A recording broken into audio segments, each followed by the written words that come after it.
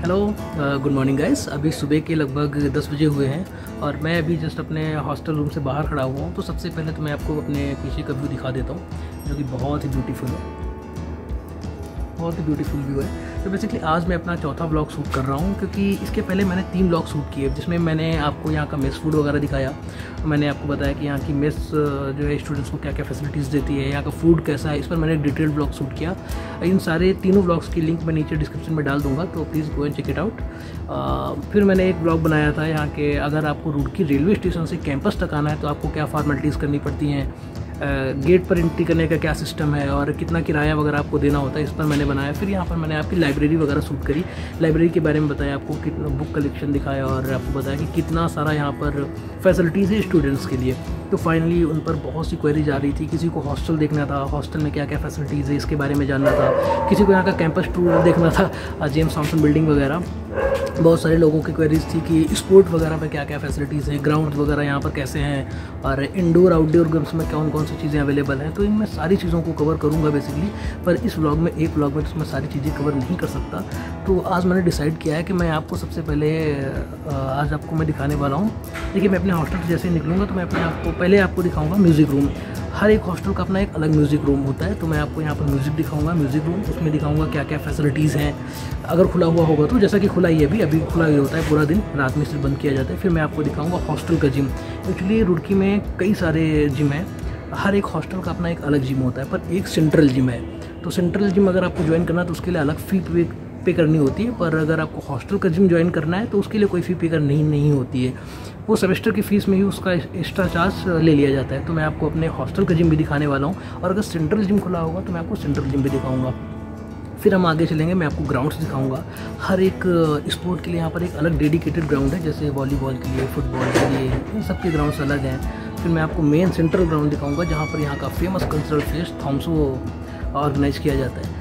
फिर फाइनली हम लोग पहुँचेंगे आई टी रुड़की की जगह, जिसको हम लोग जन्नत कहते हैं। हाँ एक्चुअली जेम्स थॉम्सन बिल्डिंग बहुत ही ब्यूटीफुल आर्किटेक्चर के मामले में तो ब्यूटीफुल है ही, और उसके सामने जो ग्रीनरी है, उसके सामने जो लॉन है, उसमें इतने टाइप के फ्लावर फ्लावर्स वगैरह लगाए गए वो बहुत ही ब्यूटीफुल नज़ारा है। तो मैं अभी मैं भी वो आपको पूरा डिटेल में दिखाऊँगा।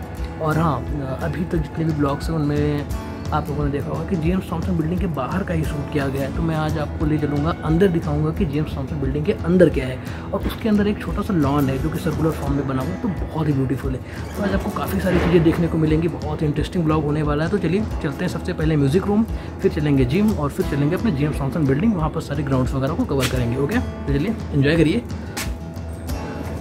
तो मैं फाइनली अभी जा रहा हूँ अपने रूम से निकल के। नीचे एक्चुअली मेरा रूम है सेकेंड फ्लोर पे। चलते हैं।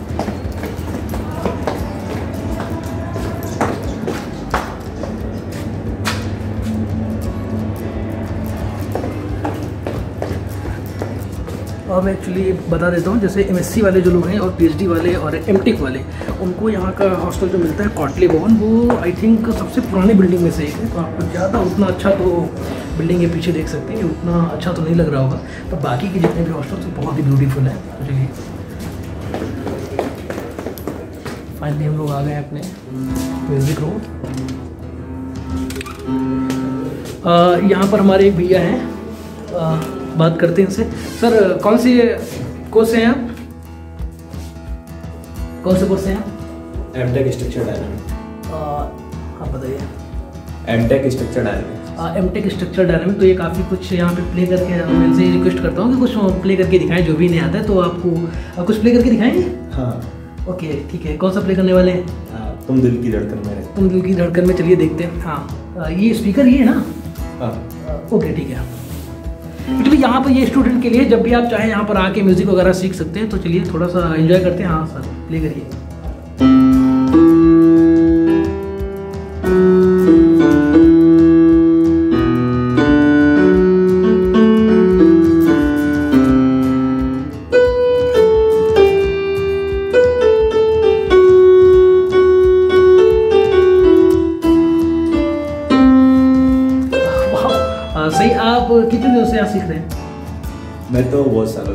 क्लास में था उस टाइम पे सीख गया अच्छा फिफ्थ क्लास से आप सीख रहे हैं? हाँ। ओके आप कौन सी ईयर में भी यहाँ पे कोर्स में? हाँ मैं सेकंड सेम में हूँ। First year second sem okay first year second sem okay so thank you मैं आपको दिखा देता हूँ यहाँ पर कुछ और फैसिलिटीज़ हैं जैसे ये पता नहीं क्या ड्रम है आई थिंक ड्रम है ना हाँ ओके ओके और क्या क्या है यहाँ पर? वो गिटार रखा है वहाँ पे। आ, ये गिटार है और? इसमें तबला रखे और ये तबला वगैरह है और, हारमोनियम रखा है। और ये हारमोनियम है और इन्हें क्या बोलते हैं? इनको ड्रम ही बोलते हैं। ओके ये भी ड्रम है तो काफ़ी सारी चीज़ें हैं यहाँ पर और एक्चुअली ये डेढ़ साल से जैसे हाँ। माइक वगैरह भी है बोलने माइक वगैरह ओके एक्चुअली डेढ़ साल से आई थिंक ये बंद था ना। कोरोना वगैरह के टाइम में तो खुला हाँ, नहीं होगा। तो काफ़ी सारी चीज़ें अभी यहाँ से हटा भी दी गई होंगी आई थिंक जो हाँ। स्टूडेंट की रिक्वेस्ट करने पर आ जाएगी। तो चलिए अब आगे निकलते हैं। मैं आपको दिखाने वाला हूँ यहाँ का जिम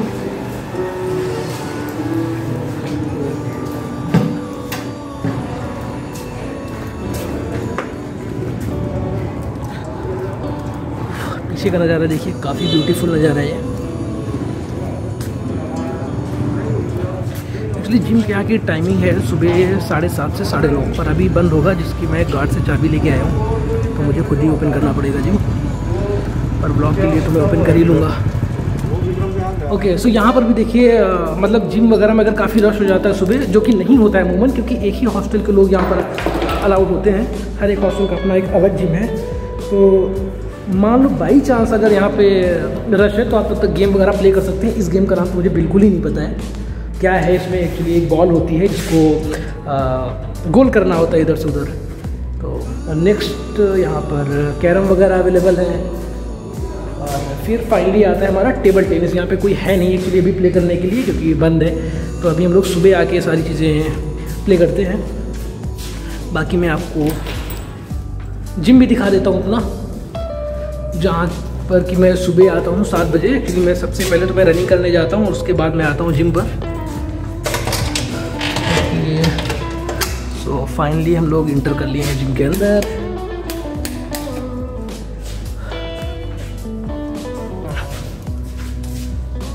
ये कुछ मशीनें और आगे के मैं आपको दिखाता हूँ क्या क्या चीज़ें अवेलेबल हैं। एक्चुअली मुझे इनके नाम वगैरह तो कुछ ज़्यादा पता नहीं जिम के बारे में। काफ़ी सारी एक्टिविटीज़ के लिए यहाँ पे मशीन वगैरह अवेलेबल हैं और और बड़े लेवल की चीज़ें अगर आपको करनी है तो आपको जाना पड़ेगा सेंट्रल जिम सेंट्रल जिम अभी देखते हैं, अगर वो ओपन होगा तो मैं उसे भी शूट कर लूँगा। और यहाँ पर डीजे वगैरह का भी अवेलेबल है, क्योंकि डीजे बजा के थोड़ा जोश में आइए और फिर एक्टिविटी चलिए, बाहर चलते हैं। आई थिंक सारी चीज़ें मैंने यहाँ पर कवर कर ली हैं। खाना करना पड़ेगा।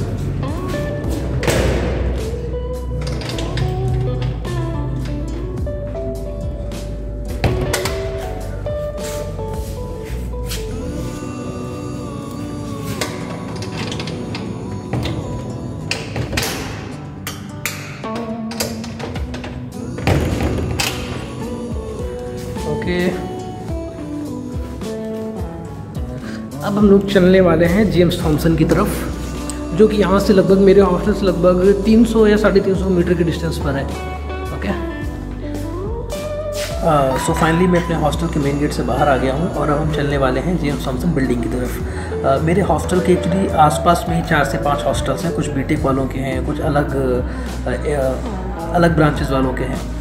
और बाकी कोई कुछ हॉस्टल्स की डिस्टेंस लगभग 500 मीटर है, किसी की एक किलोमीटर की डिस्टेंस पर भी हॉस्टल्स हैं सारे एक जगह पर नहीं है। आप मेरे लेफ़्ट साइड देखिए, जितने भी इंडोर गेम्स हैं, जैसे कि आपका टेबल टेनिस हो गया या फिर पूल वगैरह हो गया, वो सारे इसी बिल्डिंग में हैं। और ये है हमारे हॉस्टल हमारे रुड़की कैंपस की सबसे लग्जरियस और सबसे ब्यूटीफुल बिल्डिंग जो कि एक्चुअली बी थर्ड ईयर वालों का हॉस्टल है, ये उन्हें कॉल आउट किया जाता है। ये हाइड्रोलॉजी और रिन्यूएबल एनर्जी का कोई डिपार्टमेंट है।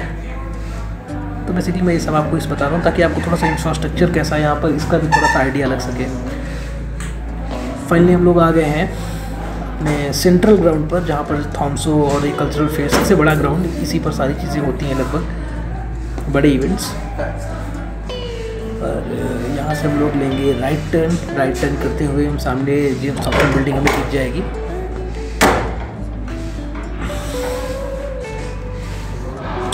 मैं आपको इस ग्राउंड में चल के दिखाता हूँ। इस ग्राउंड के अंदर ही काफ़ी सारे अलग भी कोर्ट बनाए गए, जैसे वॉलीबॉल कोर्ट इसी के अंदर है और मैच का भी जितना भी अरेंजमेंट है नेट वगैरह मैच की लगी हुई है, वो भी सारा इसी के अंदर है। मैं आपको चल के दिखाता हूँ ताकि थोड़ा सा आपको अच्छी फील आए। इसमें एक्चुअली सीटिंग अरेंजमेंट भी बहुत बढ़िया है, ताकि जैसा कि स्टेडियम वगैरह जैसा लगता है। स्टेडियम वाली फील इसमें आती है। और ये जो सामने सीढ़ियाँ दिख रही है जेम्स थॉम्सन के लिए मैं भी बस चलने ही वाला हूँ जेम्स थॉम्सन पहले मैं आपको ग्राउंड दिखाता हूँ और ये बिल्डिंग जो आप देख रहे हैं लेफ़्ट साइड ये स्पोर्ट का सेक्शन है। जितने भी स्पोर्ट है, इसके ग्राउंड सारे इसी में पर मैं नेक्स्ट ब्लॉग में मैं शायद आपको दिखाऊँगा, ये ब्लॉग काफ़ी लंबा हो जाएगा अदरवाइज़ ये है सेंट्रल हमारा ग्राउंड बहुत लंबा ग्राउंड वैसे इसमें मैंने रनिंग करी है तो इसका सरकमफ्रेंस ऑलमोस्ट आता है सेवन फिफ्टी मीटर्स तो चलिए, चलते हैं बाहर।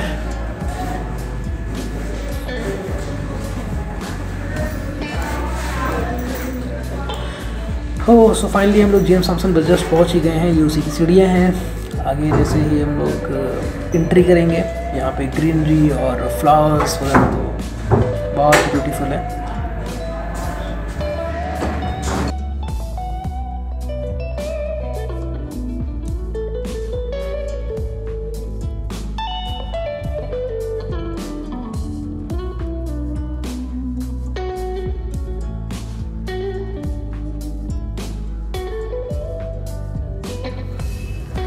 सो मैं फाइनली आ गया हूँ जिन थॉमसन बिल्डिंग के सामने।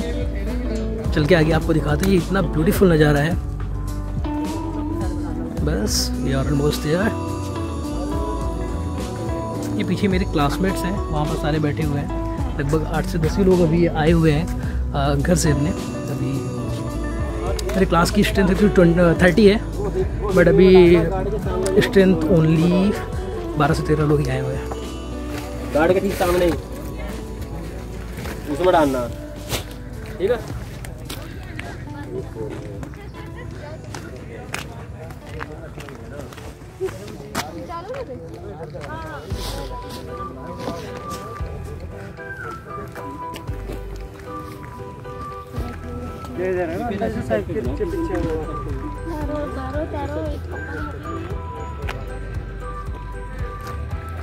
ये पीछे जेम्स थॉमसन बिल्डिंग एक्चुअली सन इसके जस्ट पीछे है तो उतना क्लियर व्यू आई थिंक नहीं आ रहा है।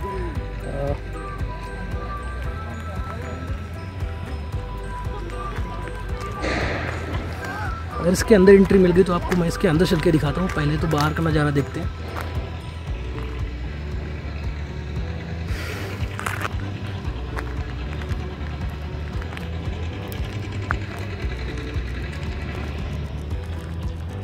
मैं कोशिश करता हूँ कि इसके अंदर जा पाए।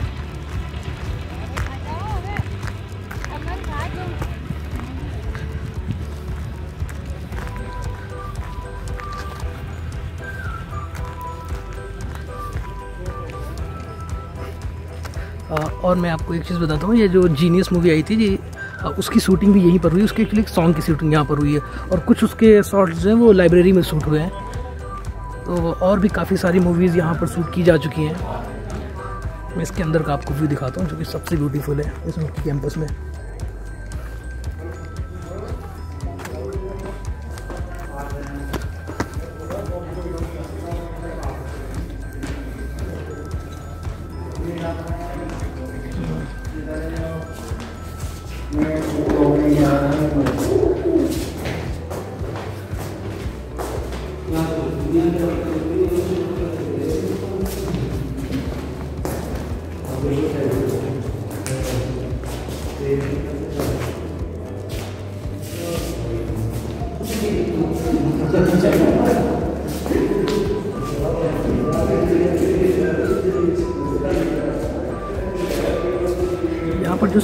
जो सीनेट मेंबर्स हैं उनके सारे ऑफ़िस हैं, देख सकते हैं पीछे आप। और जस्ट उसकी दूसरी तरफ़ भी सेम सिचुएशन है। अब मैं आपको दिखाता हूँ यहाँ का सबसे ब्यूटीफुल लॉन जो इसके अंदर है, जहाँ पर अभी तक शायद एक भी ब्लॉग शूट नहीं किया गया है। तो ये मैं आपको दिखाता हूँ।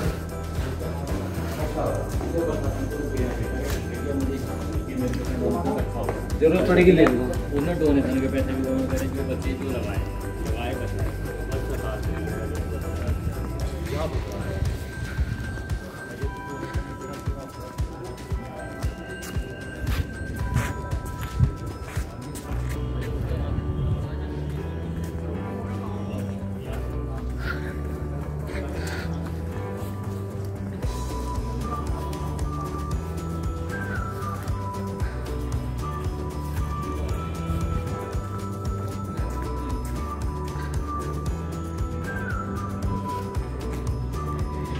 हम लोग आ, आ, आ चुके हैं जेम्स थॉम्सन बिल्डिंग के अंदर और ये जेम्स थॉम्सन बिल्डिंग हमारे पीछे है। यस अब आई थिंक सही व्यू आ रहा होगा। क्योंकि तो इसके अंदर का लॉन है। जहाँ पर आई थिंक शूटिंग करना अलाउड नहीं है। वैसे मैंने परमिशन मांगी परमिशन मिल गई। तो चलिए फाइनली हम लोग चलते हैं बाहर और सो गाइज़ एक्चुअली आज के ब्लॉग में मैं आपको सारी चीज़ें नहीं दिखा पाया क्योंकि ये ब्लॉग काफ़ी लंबा हो जाता। तो जैसे मेरे आप लेफ़्ट साइड में देख सकते हैं, ये वॉलीबॉल कोर्ट और ये सारे स्पोर्ट के कोर्ट के ग्राउंड्स वगैरह अलग सेपरेट हैं। पर उनको मैं कभी अलग एक नेक्स्ट ब्लॉग में पूरा शूट करूँगा पार्ट टू में इसके। तो अगर आपको कोई इन्फॉर्मेशन चाहिए तो आप मुझे नीचे कमेंट बॉक्स में कमेंट करके पूछ सकते हैं, कोई क्वेरी हो आपकी तो। और मैंने अपने पर्सनल इंस्टाग्राम का आईडी नीचे दे रखा है, आप मुझे वहाँ पर जाकर फॉलो भी कर सकते हैं। तो चलिए मिलते हैं नेक्स्ट ब्लॉग में. एंड प्लीज़ अगर आपको पसंद आया हो तो आप एक सब्सक्राइब ज़रूर करें. सो थैंक यू मिलते हैं नेक्स्ट ब्लॉग में.